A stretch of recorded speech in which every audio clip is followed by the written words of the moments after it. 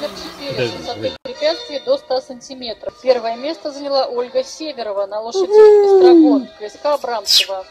Она награждается кубком, золотой медалью, дипломом, денежным призом, сертификатом ветклиники Максима Вет. Ура!